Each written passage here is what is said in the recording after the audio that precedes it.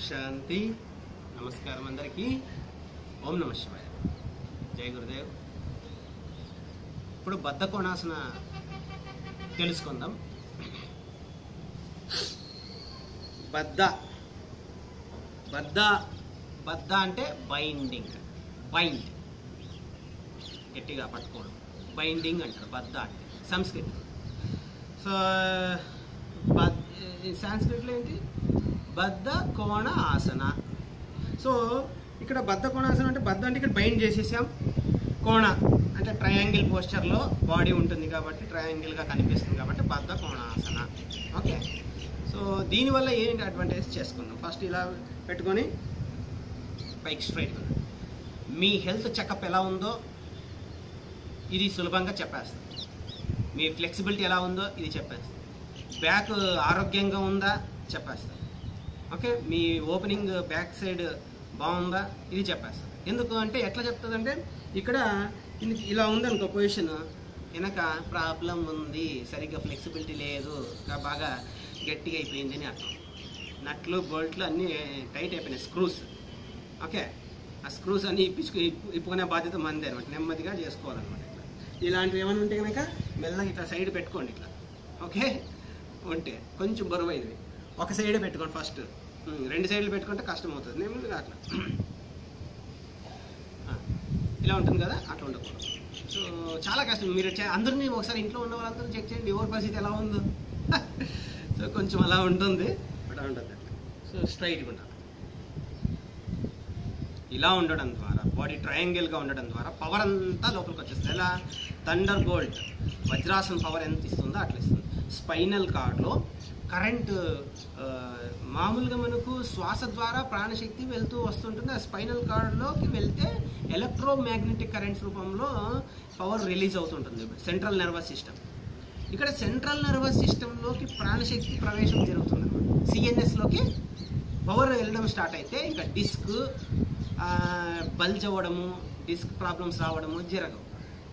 At the same time ఎవరికైతే delivery after delivery అయిన ladies ఉంటారో వాళ్ళకి వెజైనల్ మజిల్ లూజ్ అయిపోయి ఉంటుంది. ఇది ఎక్కువసేపు బద్ధకొణాసన ఎక్స్టెండెడ్ పీరియడ్ చేయడం ద్వారా ఏముంది దీంట్లో? బుక్ చదువుకోవచ్చు ఇంకేమైనా పని చేసి పని తద్వారా వాళ్ళకి ఆటోమేటిక్గా ఆ వెజైనల్ మజిల్ మళ్ళీ తిరిగి ఎలాస్టిసిటీ సంపాదించుకొని వాపస్ వచ్చేస్తుంది. కొంచెం బాగా help both you know you can they can enjoy it you can understand yeah అలా రైట్ స్ట్రైట్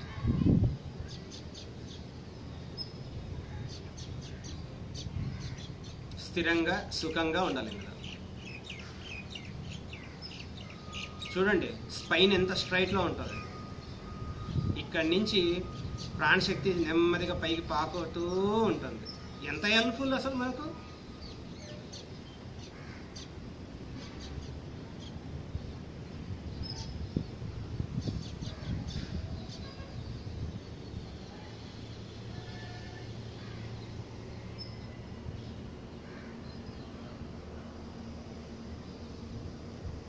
భోజనం చేసినప్పుడు ఈ ఆసనం బాగా వచ్చిందంటే మీరు కంఫర్టబుల్గా ఉన్నారంటే భోజనం చేసిన తర్వాత కూడా మీరు చేయొచ్చు.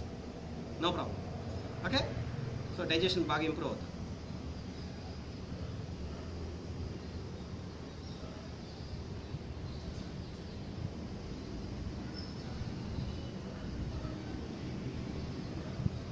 శ్వాసల మీద ధ్యాస ఉంచండి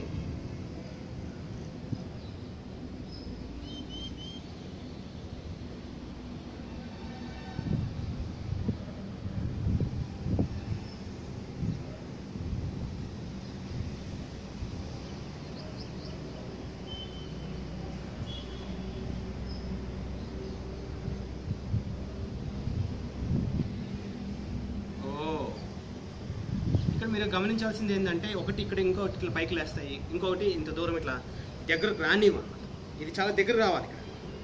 ఈ కాళ్ళు ఇట్లా పట్టుకోవాలి. ఫర్మ్ బ్లాక్ చేసుకోవాలి. రైట్ ఇది.